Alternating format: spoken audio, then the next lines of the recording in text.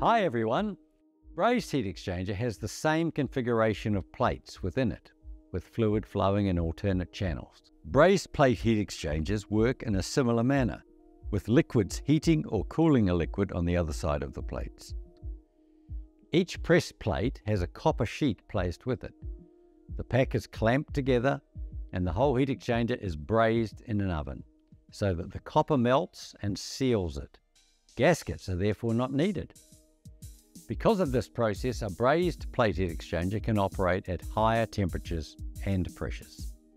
However, they cannot be taken apart for maintenance. Brazed heat exchangers can be used for a number of applications. Uh, if both fluids are clean, for example, uh, water and water, or water and chilled water, all the connections will be threaded as in this case.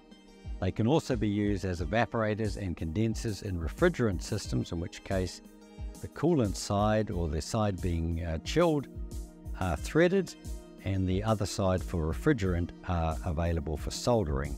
This allows the unit to be used for the newer refrigerants that need to operate at up to 45 bar pressure.